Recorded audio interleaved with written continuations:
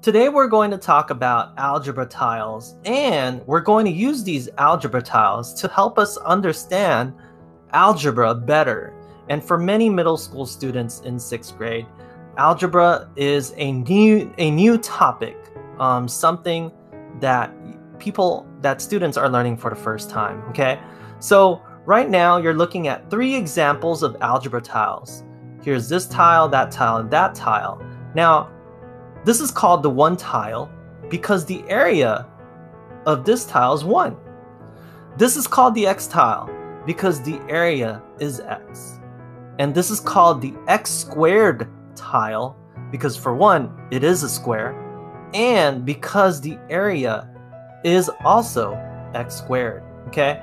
So if you're curious to figure out why, how, how we were able to get these areas right here, well, you'll want to remember that the area of any rectangle is always going to be length times width, okay?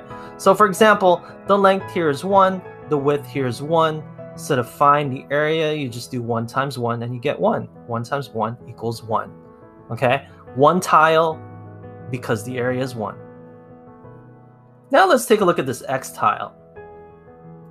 Okay, we know the length of the x tile is also 1 because you can match this right here. You can match this and see for yourself it is 1. Okay, so we know the length is 1, but the width here, hmm, width. What is the width of this side?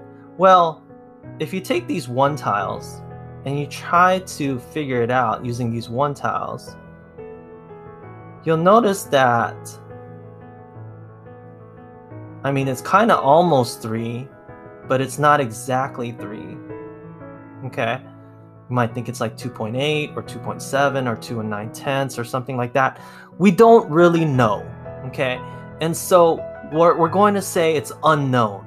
Okay? We don't know. It's unknown. And whenever we have something that we don't know, in algebra, we use something called a variable. So x is our unknown. All right? Isn't that interesting how we use letters for numbers that we don't know? Okay? And so the area here is 1 times x. Length, width, 1 times x. Now, what is 1 times x? Well, if you look over here, 1 times 5 is 5, 1 times 8 is 8. So that means 1 times x has to be x. So the area of this is x. Okay? This is called the x tile because the area is x. Now over here for this x squared tile, how do we find length and width? Well, you'll notice that this side right here is the same as that side right here. So if this is x, it means that this has to be x also. And in fact, it's just x all around, okay? x times x is going to be x squared, or x to the second power. So that's why they call this the x squared tile, because the area is x squared. All right? You'll need to mem- one thing you don't need to memorize all of this stuff at the bottom.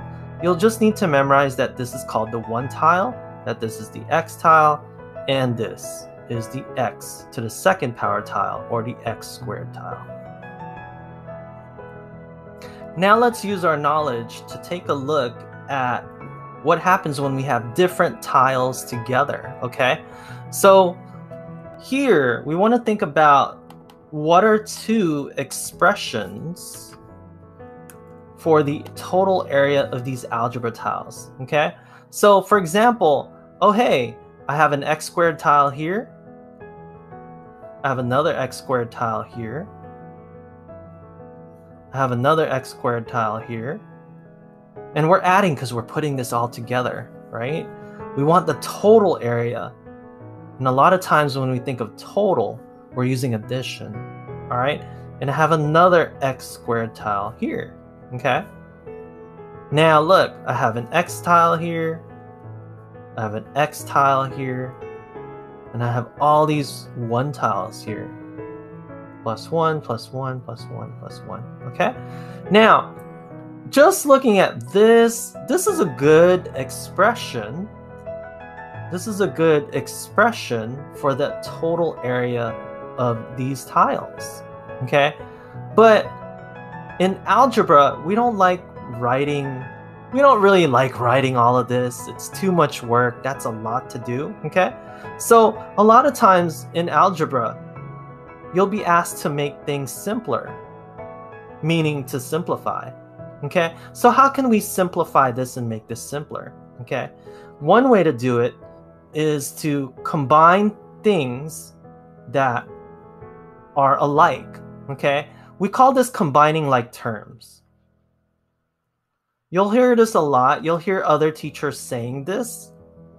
Um, this idea of combining like terms. Okay, so like for example, this one, these ones right here are alike. And you can combine them together to make a four. Okay? Let me use a different color. You can also combine these x's and you can combine it to make it 2x. Two groups of x. Okay? And by the way, look at look at the picture right here. Do you see two groups of x? Yeah, I see two groups of x or two sets of x. Okay? And by the way, um, as you're learning algebra for the first time, don't say 2x. Say two groups of x or two sets of x. Okay? And have that plus sign there as well. All right? Now, we're going to combine the x squareds next. The x to the second power is next. Okay, and I hope you know this is purple right here. Now let's put these together how many x squareds do I have? Well, I can look at the picture and I can say 1, 2, 3, 4. Or I can just say, I can look at my expression and say 1, 2, 3, 4. And in algebra, the way you write it is 4x squared. But remember, since we're teaching, since you're trying to learn how to, uh, since you're trying to remember this, you're trying to remember this, try to remember it as four groups of x squared plus two groups of x plus 4. Do not say 4x squared plus 2x plus 4. That doesn't that doesn't help you remember that this is multiplication. 4 groups of x squared plus 2 times x plus 4. Okay? Actually, let me say just say that again. This is 4 times x squared plus 2 times x plus 4. And the way you remember that is if you think of groups. Okay? So, did we get two expressions? Yes, here's one expression, here's another expression. We totally finished that, okay?